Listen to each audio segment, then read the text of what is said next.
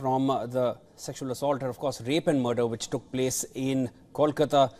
Another sexual assault case with two minors in a school in Badlapur in Thane in Maharashtra has also made has made headlines across the country. The Bombay High Court is hearing the matter today after taking suo motu cognizance of the incident. On Wednesday, the accused in the case was sent to judicial custody till the 26th of August and a proposal was made to set up a fast-track court to ensure quick proceedings in the case. To give you a quick understanding of the case, two minors, in fact, two four to five year old girls uh, were sexually assaulted within the premises of their school and the prime accused here is one of the workers there and this the incident took place in the bathroom of the school now the incident had triggered massive protests at the badlapur railway station after the matter came to light the children they went home and they complained about pain that they were having in their private areas and after which the parents understood what has happened with the children. FIR was filed after several, several hours.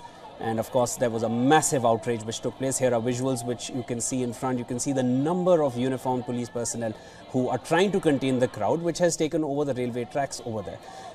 As per Central Railway authorities, the situation in Badlapur station remains under control at the moment, but the movement of the trains on the line is normal since violent protests on Tuesday. However, internet service will remain suspended to curb rumours surrounding the case.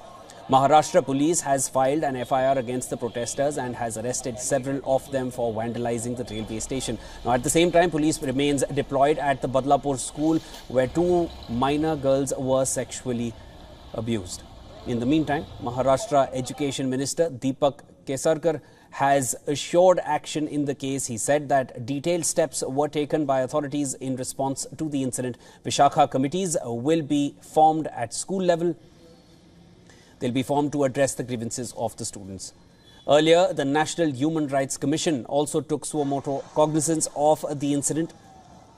They asked for a detailed report from concerned authorities within two weeks.